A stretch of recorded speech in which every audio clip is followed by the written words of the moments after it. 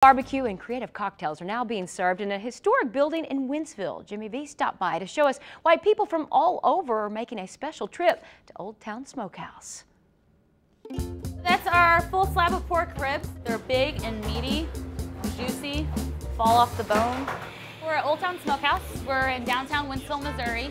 It's a small local mom and pop barbecue place. All of our meats are smoked. This is our uh, pork belly. It's like really, really good caramelized bacon fat. It's juicy, it's meaty. And then this is our uh, baked beans, and we actually put pulled pork, onions, and peppers in it. This is our half pound of shrimp. We have it with green beans right here, and our green beans too are meaty. It has bacon and ham chunks in it. It's good. The meat's real tender. The sauce is good. There's a lot of variety. It Tastes great. How was the food?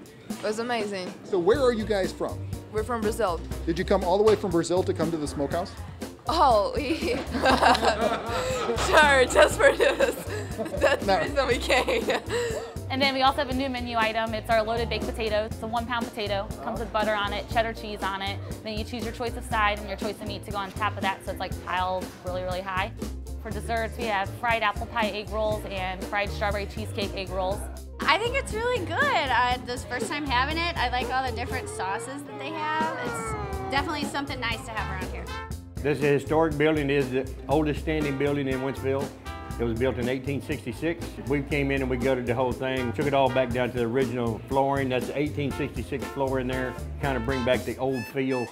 We have a small five person bar, which ends up being like a 20 person bar because everybody likes watching the smokehouse old fashioned being made. two ounces of a pork belly infused rye whiskey that we're gonna uh, smoke with cherry wood. Gonna finish this off with a flaming orange twist. So it's a loose spin on the classic old fashioned. And then we have a huge back patio area too, so we're really excited to have that. It's a beautiful place. They did a great job in restoring it. And how's the food? It is excellent. You, you won't find any better. Old Town Smokehouse is on Main Street in Wentzville. There's live music on Tuesdays and Saturdays, plus trivia once a month. You can reach the restaurant at 636-856-9616 or check them out on Facebook.